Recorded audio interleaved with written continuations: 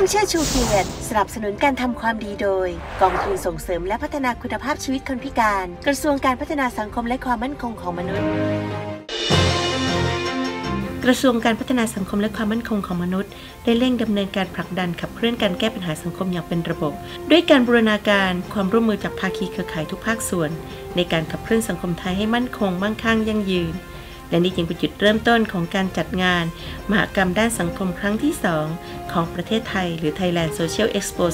2019 ภายใต้แนวคิด ร่วมมือร่วมใจสังคมไทยยั่งยืน Partnership for Sustainable โดยความร่วมมือระหว่างกระทรวงการพัฒนาสังคมและความมั่นคงของมนุษย์ ภาคีเครือข่ายทุกภาคส่วน ทั้งเครือข่ายภาคสังคม ภาครัฐ ภาคเอกชน และประชาคมจากประเทศไทยและอาเซียนกว่า 100 หน่วยงาน และเป็นการต่อยอดรวบรวมนวัตกรรมสังคมและเทคโนโลยี เพื่อพัฒนาสังคมและกลุ่มเป้าหมาย เป็นการผนึกกำลังบนพื้นฐาน การมีส่วนร่วมและการบริหาการร่วมกันของทุกภาคีเครือข่าย ที่ดำเนินการด้านสังคมของประเทศไทย เพื่อพัฒนาสังคมและประชาชนกลุ่มเป้าหมายในทุกช่วงวัยหลากหลายความสามารถที่ปรากฏของเหล่าผู้พิการ สู่อาชีพที่สร้างรายได้ให้กับตนเองและครอบครัว ถือเป็นต้นแบบและบริบทของสังคมในทิศทางที่ดีขึ้น การจัดงานนี้ ก็คาดหวังนะครับว่าจะช่วยให้เกิดความเข้าใจในเรื่องของการดูแลคนตลอดช่วงชีวิต โดยไม่ทิ้งใครไว้ข้างหลังในทุกกลุ่มโดยเฉพาะกลุ่มที่เปราะบางนะครับอันที่ 2 ก็ให้เห็นถึงความร่วมมือทั้งภาครัฐ แล้วก็ยังมีพลังทั้งภาคเอกชน องค์กรชุมชนต่างๆ ที่ทุกคนก็ต่างล้วนมีบทบาท ในการดูแลสังคมทำประโยชน์กับสังคมในด้านต่างๆ ก็จะเป็นแรงบันดาลใจนะครับให้เราได้ความรู้ได้การที่ มีเครือข่ายไปร่วมกันดูแลสังคมมากขึ้นด้วยครับ หลากหลายความสามารถที่ปรากฏของเหล่าผู้พิการ สู่อาชีพที่สร้างรายได้ให้กับตนเองและครอบครัว ถือเป็นต้นแบบและบริบทของสังคมในทิศทางที่ดีขึ้น ศักยภาพของผู้พิการที่เปลี่ยนไปด้วยพลังกายและพลังใจ ที่จะสามารถฝ่าฟันอุปสรรค พร้อมที่จะเกื้อกูลใช้ชีวิตได้อย่างอิสระมีความสุข และดำเนินศักยภาพได้อย่างเต็มที่ หากมีเครื่องมือที่ช่วยเกื้อให้ผู้พิการได้แสดงศักยภาพ ข้ามอุปสรรคของคนพิการได้ ก็จะทำให้ผู้พิการช่วยเหลือตนเองและเกิดประโยชน์กับสังคม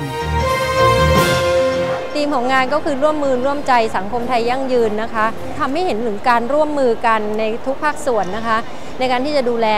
โดยเฉพาะอย่างยิ่งคนพิการคือกลุ่มคนหนึ่งที่เรียกว่าทุกคนจะรู้สึกว่าเป็นกลุ่มที่เปราะบางที่สุดนะคะ แต่ก็จะเห็นได้เลยว่าคนพิการเป็นคนที่มี ความสุขมีคุณภาพชีวิตที่ดี แล้วก็เฉพาะอย่างยิ่งณวันนี้เนี่ยเราก็มีการดูแลในเรื่องของสิ่งอำนวยความสะดวกต่าง ๆ ให้คนพิการไปมากมาย เราอยากเห็นเมืองที่น่าอยู่สำหรับคนพิการ เราก็เลยมีโครงการสมายซิตี้ for all นะคะซึ่งเป็นเมืองที่น่าอยู่สำหรับคนพิการ ซึ่งถ้าคนพิการน่าอยู่แล้วทุกช่วงวัยทุกกลุ่มคนเนี่ยก็จะสามารถมีความสุขได้ การพัฒนาคุณภาพชีวิตของผู้พิการ ถือเป็นการดำเนินงานสำคัญ ที่จะทำให้พวกเขามีอาชีพมีรายได้กับตนเองและครอบครัว รวมถึงการเปิดพื้นที่ให้คนพิการได้มีส่วนร่วม ระหว่างคนพิการและคนไม่พิการ ผ่านการทำงาน ลดช่องว่างความเหลื่อมล้ำในสังคม ซึ่งจะเป็นปัจจัยสำคัญต่อการพัฒนาคุณภาพชีวิตคนพิการ ตามนโยบายรัฐบาลที่มุ่งเน้นการลดความเหลื่อมล้ำยกคุณภาพชีวิต ให้สามารถอยู่ในสังคมได้อย่างมีเกียรติ มีศักดิ์ศรี มีความสุข และมีคุณภาพชีวิตที่ดีขึ้น ค่ะอย่างเช่นที่มาในวันนี้นะคะ เราก็ยกคนพิการที่ประกอบอาชีพและประสบความสำเร็จนะนะคะ มีสินค้าในระดับพรีเมียมนะคะ ซึ่งในหลายสินค้าเนี่ยส่งออกต่างประเทศด้วยนะคะ แล้วก็ณวันนี้คนพิการไม่ได้ว่าค้าขายในตลาดตามปกติแล้ว มีการค้าขายออนไลน์ แล้วก็มีการพัฒนาผลิตภัณฑ์ไปมาก ก็จะเห็นได้เลยว่าคนพิการเนี่ยค่ะก็เป็นพลังของประเทศแล้วก็สร้างเรื่องของรายได้เรื่องของเศรษฐกิจที่ดีให้กับครอบครัว แล้วก็สร้างแรงใจให้คนอื่นในการที่จะต่อสู้ชีวิตด้วย คนพิการณวันนี้เนี่ยนะคะนอกจากมีอาชีพเลี้ยงตัวเองได้แล้วเนี่ยนะคะก็ยังเลี้ยงครอบครัวทำให้เขารู้สึกว่าเขามีคุณค่าในสังคม ก็พยายามอยากให้มองคนพิการคือคนคนหนึ่งในสังคมนะคะเขาต้องการในเรื่องของโอกาสแล้วก็เข้าถึงสวัสดิการต่างๆ แล้วก็จะได้ช่วยให้ประเทศชาติ ซึ่งณวันนี้เราเป็นสังคมผู้สูงอายุ คนที่อยู่ในวัยแรงงานเริ่มน้อยลง เพราะฉะนั้นคนพิการก็จะเป็นหนึ่งกำลังสำคัญในการที่จะพัฒนาประเทศชาติต่อไปค่ะ นับเป็นการสร้างงานให้ผู้พิการทั้งภาครัฐและภาคเอกชน ตลอดจนคนในสังคมร่วมสนับสนุนการจ้างงานคนพิการ ให้มีรายได้พึ่งพาตนเองได้ ถือเป็นแนวทางสำคัญในการยกระดับคุณภาพชีวิตผู้พิการและชุมชนได้อย่างยั่งยืน สนับสนุนการทำความดีโดย กองทุนส่งเสริมและพัฒนาคุณภาพชีวิตคนพิการ กระทรวงการพัฒนาสังคมและความมั่นคงของมนุษย์